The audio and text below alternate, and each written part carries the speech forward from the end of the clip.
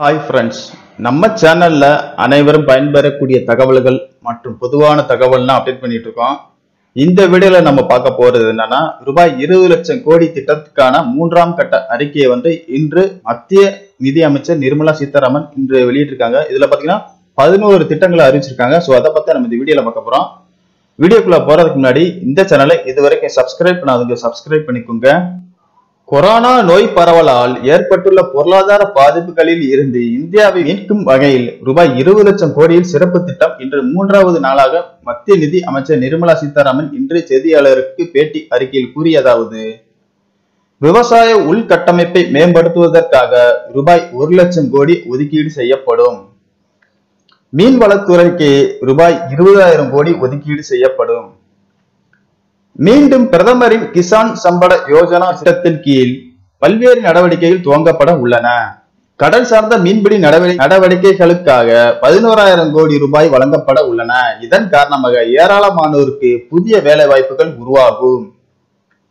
March முப்பத்தொன்னாம் தேதியுடன் காலாவதியாகும் இறால் பண்ணைகளுக்கான பதிவு மூன்று மாதங்களுக்கு நீட்டிக்கப்படும். கால்நடைகளுக்கு ஏற்படும் பல்வேறு நோய்களை கட்டுப்படுத்த அனைத்து விதமான கால்நடைகளுக்கும் நூறு சதவீத தடுப்பு மருந்து இடப்படும். ஐம்பத்தி மூணு கோடி கால்நடைகளுக்கு தடுப்பூசி போடப்படும். ஐந்து புள்ளி அறுபது லட்சம் லிட்டர் பால் கூட்டுறவு சங்கங்களால் கொள்முதல் செய்யப்பட்டது. ஒரு நாளைக்கு ஐநூத்தி அறுபது லட்சம் லிட்டர் பால் சராசரியாக உற்பத்தி செய்யப்படுகிறது. கால்நடைகளுக்கான நோய் தடுப்பு திட்டத்திற்காக ரூபாய் பதிமூணாயிரத்து முன்னூத்தி நாற்பத்தி மூணு கோடி ஒதுக்கீடு செய்யப்பட்டுள்ளது.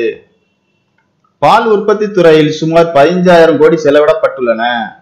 மூலிகை பயிரிடுவதை ஊக்குவிக்க ரூபாய் நாலாயிரம் கோடி ஒதுக்கீடு செய்யப்படும். விவசாய பொருட்களை சர்வதேச அளவில் விளம்பரப்படுத்த ரூபாய் பத்தாயிரம் கோடி ஒதுக்கீடு செய்யப்படும்.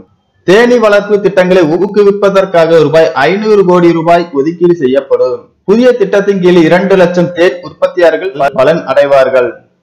அத்தியாவசிய பொருட்கள் சட்டத்தில் சில திருத்தங்கள் கொண்டு வரப்பட்டுள்ளன.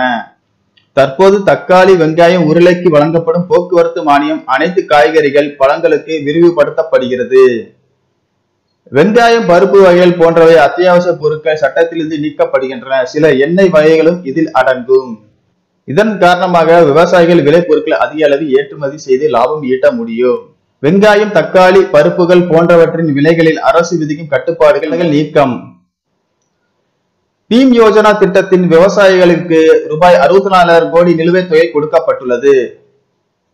வீட்டு வசதி திட்டங்களின் மேம்பாட்டுக்காக ரூபாய் எழுபதாயிரம் கோடி ஒதுக்கப்பட்டு உள்ளது. இதன் மூலம் வேலைவாய்ப்பு பெறுவதோடு இரும்பு சிமெண்ட் உள்ளிட்ட கட்டுமான பொருட்களின் தேவையும் அதிகரிக்கும். ரூபாய் ஆறு லட்சம் முதல் பதினாறு லட்சம் வரை ஆண்டு வருமானம் உள்ள நடுத்தர குடும்பத்திற்கான வீட்டுக்கடன் மானிய திட்டம் கடந்த மார்ச் மாதம் வரை நீட்டிக்கப்பட்டது. இதன் மூலம் மூணு லட்சத்தி முப்பதாயிரம் குடும்பங்கள் பயன்பெற்றன.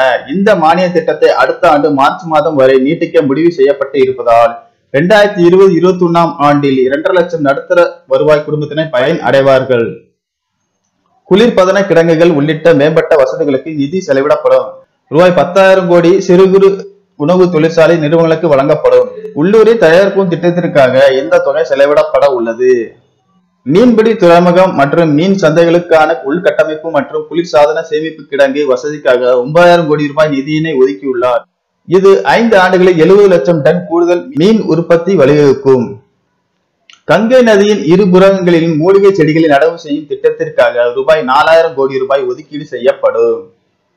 ஓகே ஃப்ரெண்ட்ஸ் இந்த வீடியோவை உங்களுடைய நண்பர்கள் அனைவருக்கும் ஷேர் பண்ணுங்க. இந்த வீடியோ பற்றிய கருத்துக்கள் எதுவும் இருந்தால் அந்த கமெண்ட் பாக்ஸ்ல தெரிவிங்க. இது போன்ற புதிய அப்டேட்களை பெற இந்த சேனலை சப்ஸ்கிரைப் பண்ணுங்க.